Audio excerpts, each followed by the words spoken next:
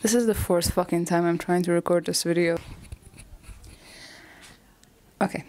Have you ever wanted to do something, but not just anything, something that you really love? You're really passionate about this thing and you really want to do it. You've spent so much time watching other people do it. You know, it can be playing the piano, knitting, crocheting, I don't know, baking a cake or drawing or whatever, writing. It can be anything. It's just something that you're passionate about. You love it and you look at other creators, other people who are skilled at this thing do it. And you want to do it. You want to be a master at it. You want to create that thing. You don't just want to look at other people do it, you want to do it. But then you don't why? Why is that? You know, sometimes you're so passionate about something that you end up failing it by loving it too much. I'm pretty sure you've seen that graph of the way you develop a taste and the way you develop a skill. And sometimes, a lot of times actually, when you start doing something, when you start practicing, your skill doesn't match up with your taste. So you know what a great thing I don't know, you know what a great hand looks like, but you can't draw it. You know what a great cake tastes like, but you can't bake it. And then every time you try, you see that you're not good enough. Your skill doesn't match up with your taste, and you just care about this thing so much that making something bad in it, making a bad quality thing of it, just feels like the unholiest and greatest sin that you could ever commit. How dare you draw a bad hand? And you know, I guess in the case of something like a hand, it doesn't bother you as much. You can always try again. But if it's like a cake,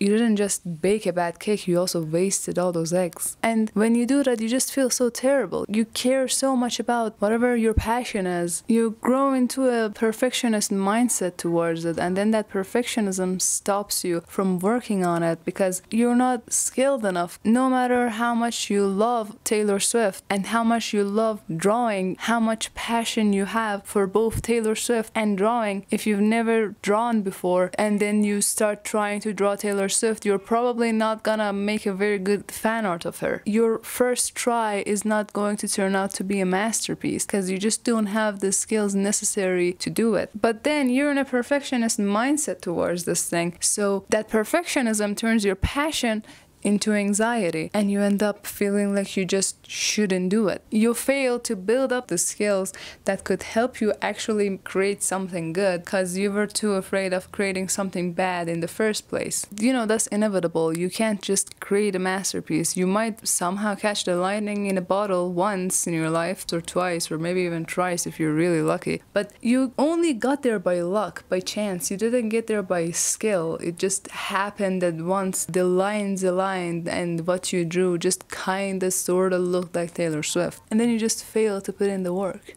But you know, that's not the only reason why you don't do what you want to do. Like, it's not just because of perfectionism. Like, a lot of us are okay with creating something bad. Yeah, okay, I know, I'm aware. Everybody keeps telling me this. The first try is not gonna turn out great. Neither will the second or the third or the fifth. Maybe the 20th try is gonna turn out good, but I don't fucking know. Maybe I need to try a hundred times before I make something remotely acceptable. But I still don't do it. The problem is on the perfectionism. Um, what is it? Part 2, you are too fucking old. Unfortunately for me, I'm slowly reaching the cursed age of 21. And, you know, it's that part of your life when uh, slowly you're not mature for your age. You're just mature. And you're not that kid that has a lot of potential. You're the person who should really use all that potential they got, or else they're gonna waste it and become a burnout. You know, you're no longer the gifted kid. You're just the burnt out kid who didn't learn how to study and actually learn stuff because they were just gifted and didn't need to. And now you're you're like, what the fuck am I supposed to do with my fucking life? Am I supposed to actually try for things? And you know, here's the shitty thing about being in your 20s, even your early 20s. Until a couple years ago, none of your friends around you really had any fucking idea what the hell was going on. Nobody had a clue. And you were fine, you know, you were fine because other successful people were all older than you. Feel like you have so much time to do these things. And it's okay if you didn't start today or tomorrow or this month or even this year because, you know, you're still young and you have so much time and you can do it later. But then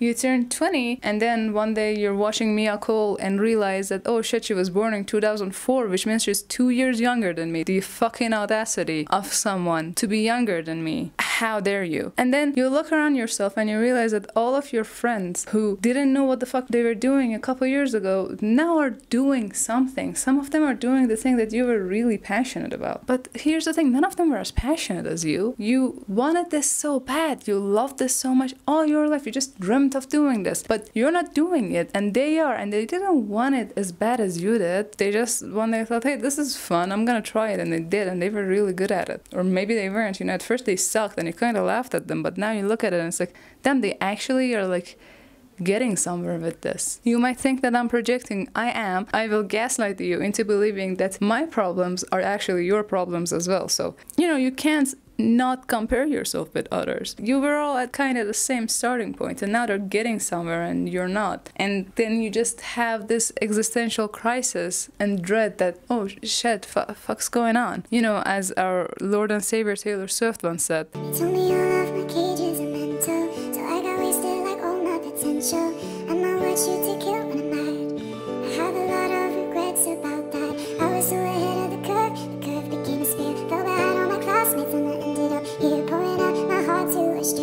The stranger here, except I'm not pouring my heart out, and I'm also not drunk. I, I don't know. Is that is that what wasted means? Is that what wasted is supposed to have like a double meaning or something? I don't fucking know. I don't drink. You know, you keep thinking about how, hey, I could have started doing this four years ago, and that would have made me feel so much better. I would be in the place I always dreamt of being in right now. If I only started four years ago, I wasted so much time. And then you keep thinking about it. You keep thinking about the unforeseeable future, and you're like, if I started four years ago, I don't know, let's say if it's something like university, if I started four years ago, I would be getting my bachelor's. In two years, I would get get my master's degree and then I could have a job and I could like get better and like get a promotion and then go start working on this thing and that thing and be in the place I want to be job wise. But then now I'm gonna only have my bachelor's degree in four years, which not good. That's so late but it's not like you can reverse time so you're like okay you know what i've wasted so much time but i'm gonna start now because at least this way maybe it's not gonna be as terrible maybe at least this way i'm not gonna waste more time. At least in four years i'm not gonna be in this place. In four years i'm not gonna think oh my god i wasted eight years now and i could have been in a better place. Then i'm not gonna be upset like i am right now. Part three when you try to do something and then you fucking fail and there's this point where you come to terms with the thing and come to terms with wasting so much time. And you come to terms with all of your friends being better than you. And you come to terms with the fact that, hey, okay, I get it. I'm not gonna be great when I first start. It's gonna suck when I'm just starting out. That's okay. I'm gonna just try and do it. And then you try and do it and then you fucking fail. It's like everything is fucking against you you know you finally sit your ass down to record a youtube video and you do it three times and every time there's a fucking problem and the audio is not recorded at all? For fuck's sake you know how many times i've tried to do this? The older you get the more things are against you, the harder it gets to actually do the thing you want to do and work towards your passion. First, there was no problem really, it was just a problem that you weren't as good. Then there's a problem that, oh, I wasted a lot of time. Then uh, shit doesn't work out. And then, oh, but I actually have to work. But oh, I am actually having problems with my marriage. Oh, but I have to raise my child. Oh, but I have to raise my second child. And all you wanted to do all this long was just learn to play Still Dre on piano, but you didn't do it. And then someday you're like, yeah, I'm gonna try to actually do this today. But then you get into a terrible car crash and then you lose one of your hands. And then you're depressed because of that and you don't learn it. A couple months later, you lose the other hand and you're like, okay, fuck it, I can never learn this now. After a couple of years, you're like, okay, I'm gonna learn to play this with my feet. And then you get in a car crash and you lose both of your feet. And then your wife leaves you. And then you're a single parent with no hands and no feet, you know, and then it just gets more and more impossible impossible. What am I even saying?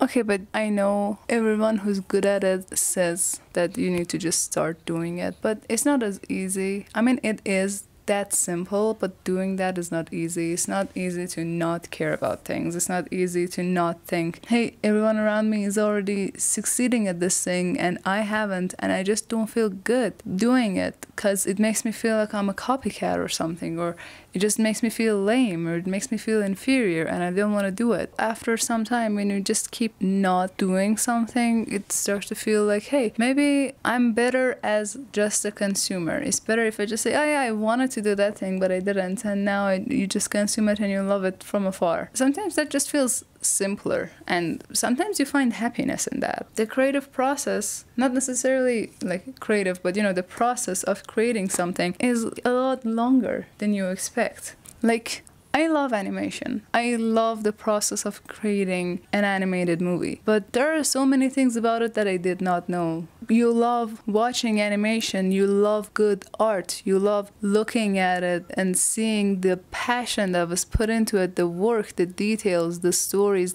everything, the potential that it has. You know, you look at it and you love it, but then you go into the process of creating it and it's not as simple. You can't just magically will a 3D model from your head into existence you know uh, somebody has to design that character and then somebody has to 3d model that character and do the rigging and do the animating and the coloring and the lighting and it's so complicated and it's such a long and sometimes tedious process and a lot of people can't love all of that. A lot of times you can't be passionate about every single part of something. Have you ever had that video game that you really loved and you really enjoyed playing? And after a while you were like oh I should replay that game. And then you go to replay it and you remember that one level that one tedious level and that just makes you feel like ah yeah i don't really feel like replaying that game.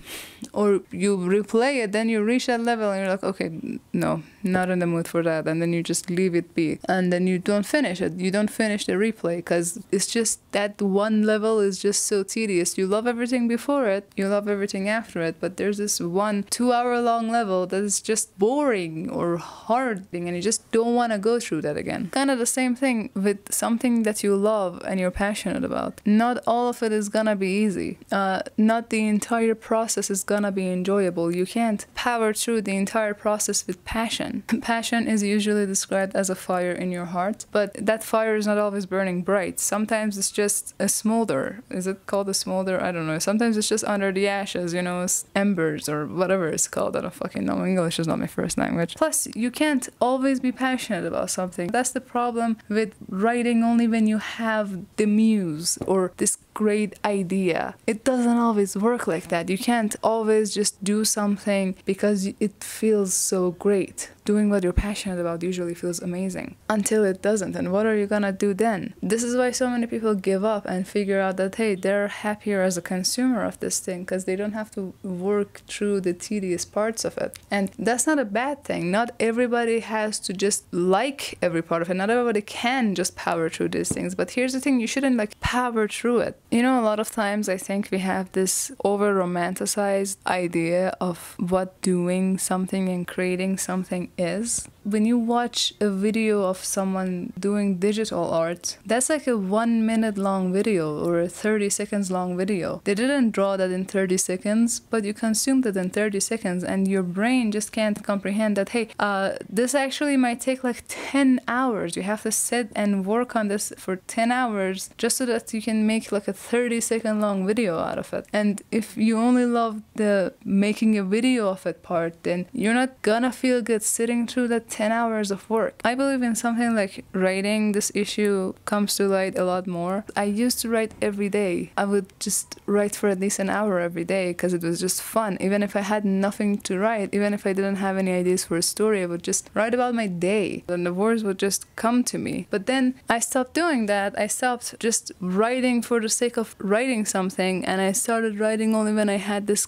great, amazing, cool idea that I thought was really great and was worth putting on paper paper. And then I lost the ability to write freely. When you limit yourself to only doing something when you have this spark. Slowly, if time passes and you don't write, you fail to just do it for the joy of it. You fail to just create something. Looking back at the stuff I wrote when I was younger, I say that as if I'm not just 21 years old. A lot of my favorite things that I wrote, I wrote them when I was just fucking around, when I was just existing and writing for the sake of writing and I was bored and then suddenly like words came to me because that's how it works. You keep creating and creating and creating and then you strike gold sometimes. But when you're not just doing it, you kind of miss the point of it. Part 5 or 6 or 7, I don't know how many parts there are you were really passionate about something and then you finally came to terms with the fact that okay whatever you create the first time second third fifth twentieth time it's not gonna be good it's gonna be okay at best and that okay you wasted so much time but it's okay it's okay you can start now at least you're not gonna waste any more time. But then you actually sit down and start doing it and when you actually get into the process you realize that oh shit i don't actually really like this. This is actually like not what i thought it would be what am I gonna do now? Because you know, you spend so much time obsessing over this thing and thinking that this is what I want to do, this is where I want to be with my life. If I could just not worry about the money or my children or the fact that I don't have hands or legs, I would play piano. But then you start learning it and it's like, damn, I don't really enjoy playing the piano. So fuck am I gonna do now? I don't know. You know, sometimes you should just kind of like do it. If you just kind of came to terms with it and you were like okay you know what? I don't like this actually. That's fine. I'm just not gonna do it. I don't care. Uh, good for you whatever. But if you actually care about this and you still want to do it and it's still bugging you in the back of your mind because you had this idea or this thing that you wanted to do but you didn't because the process is tedious uh, Please get off your ass. Stop being so entitled. Uh, who the fuck do you think you are? You think the world cares about you? You think the world revolves around you? No, it doesn't. It revolves around me. The world doesn't give a heck what the fuck you want to do, whether you like this thing or not. It doesn't care. It's not gonna get any better. You can't just bitch about it and say, oh, I wanted to do it, but it's so hard. Well, boo hoo, you poor piece of shit. Kinda comes from some sort of entitlement because you thought that you were gonna be good at it at the end of the day. You thought that, hey, you were gonna enjoy it. This was made for me. I was gonna love every single part of this. I was gonna rock it. But no, you can't fucking do that. You suck, and the process is gonna suck, and it's gonna suck until you get better at it, and you're not gonna get better until you get off your ass. Matter of fact, if you got there and you tried it and it was tedious and now you're thinking about giving up but you kind of don't feel good about it, it's because you didn't actually come to terms with the fact that it's not gonna be easy and you're gonna suck. Nothing in life is as good as they make it out to be. Nothing. Have you ever lost your virginity? You do it and you're like, that was it? You know, you get your first tattoo before you're like, has to be something meaningful. And then you get a flower tattoo, because yeah, sure, that has a lot of meaning. And then you're no longer a tattoo virgin and you're like, hey, this doesn't actually matter. And then you get 50 other tattoos, because it doesn't matter. Like, that was it. It's just there, like it's, it's, it's just gonna stay there, that, that's it. Then you go pierce your ears and it's the same thing. Same case when you dye your hair. It's so romanticized for us that we always think that the high is gonna be so much higher than we think. We think it's gonna be amazing, it's gonna solve all our problems, it's gonna be so cool, and it's not. This is why you got so upset and answered by the Cyberpunk release. You know, you just built something up in your head and you expect it to be perfect. Well, guess fucking what? It's not. Nothing in life is perfect. Have you looked at our internal organs? Do they look pretty to you? People talk about the miracle of birth. You know what giving birth looks like? It looks fucking ugly. It's disgusting. That's how most life is. It's like when you get a pet. You get a pet and you think this is gonna like be the best thing ever, and then you realize that it's gonna shit everywhere. Nobody fucking tells you that a cat is gonna like all this shit. Cats shit so many fucking times. Nobody fucking told me that.